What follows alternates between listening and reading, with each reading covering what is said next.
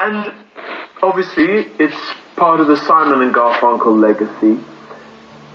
Will you ever make peace with each other? Oh, uh,